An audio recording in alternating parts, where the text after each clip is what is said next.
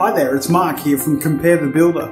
Congratulations on deciding to build your dream home through the Compare the Builder advocacy services. The next step in the process is quite simple. It's where we catch up, have a coffee, go through the project specifics. So we talk about is it a single story, double story, multi-unit development, and what you're hoping to achieve with that. Is it an investment?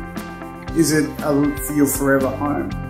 Is an extension of an existing home? It's also a great time where we get to discuss the budget.